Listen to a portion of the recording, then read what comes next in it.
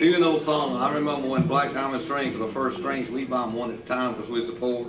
You broke a string, you got in big trouble, and that's the truth. Yeah, big trouble. Yeah, oh, yeah.